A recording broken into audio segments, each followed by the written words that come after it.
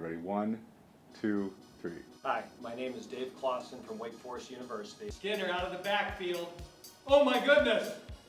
Unbelievable! Holy cow, what a play call! Unbelievable! Wake Forest takes the lead! ACC Media Day means the season's right around the corner. This is really every year the kickoff event, uh, the hype, the excitement, uh, all the pageantry that goes with college football. This is really the start of it. Some of the victories.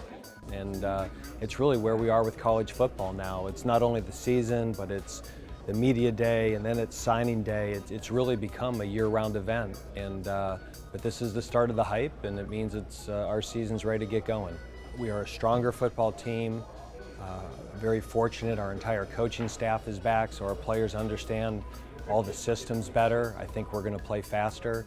Our, our challenge this year was just going to be a very young football team, but um, we're, I think, going to be more talented. We have exciting young players, and Deacon fans are going to have a chance to see these guys for the first time, and I, I really think they're going to see the the makings of what's going to be a very good football team. I just think you're, you're more familiar with everything. You know how ACC Media Day works. You know how preseason camp works.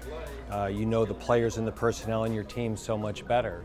Um, you know, I just think you can really focus on the areas that you need to get better just because the learning curve is over with. You know, we now have our team, we have our coaches, and we know what we need to do.